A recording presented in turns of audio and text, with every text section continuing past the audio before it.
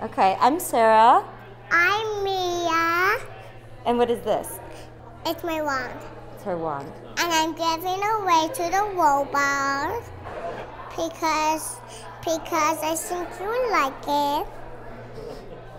You think I like it? Yeah. But don't you like it? Uh, uh not really.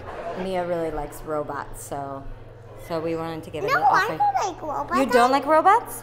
Like dinosaurs. Oh, right now she likes dinosaurs. So what's special about your one?